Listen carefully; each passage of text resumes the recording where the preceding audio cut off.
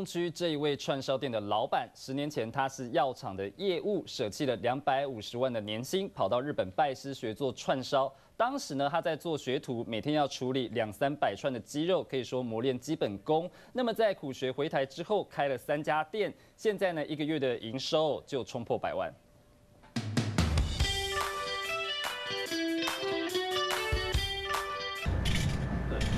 木炭烧得红彤彤，不时冒出阵阵火花，肉串躺在铁架上烤到外酥内软。木炭完全烧到火红的时候，它是远红外线最强的时候，那时候在烤的时候才会呃外皮酥里面嫩。手抓盐巴就像拉茶一样，让盐均匀撒在肉串。串烧达人肖哲文过去是威尔刚药厂业务，放弃年薪两百五十万，跑到日本苦学烧肉。在日本学学艺的那个时期，大概平均一天要串到两百串到三百串之间。放弃起初是。有，但是你已经选择了出去进修学艺这一块，你也没有后途后路。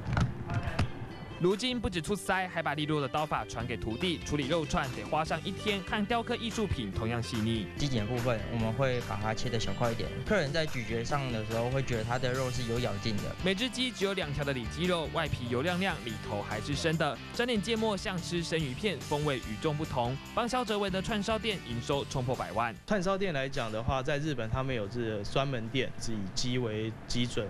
然后去去做不同的料理出呃呈现方式，每道串烧都看得到肖哲文的细腻。短短三年在台北拓展三店，再把事业带向另一个高峰。多文财经新闻，江胜黄富祥台报道。